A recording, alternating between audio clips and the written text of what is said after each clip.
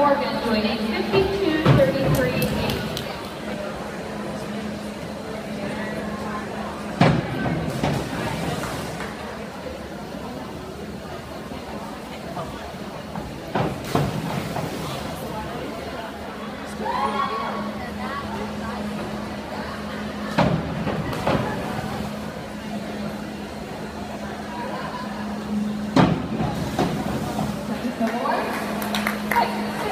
So on seven, seven.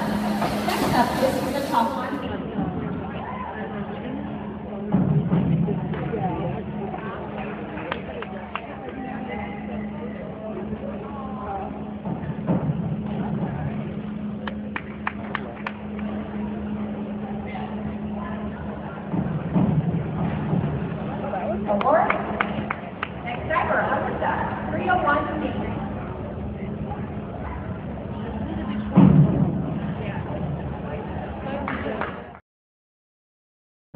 now.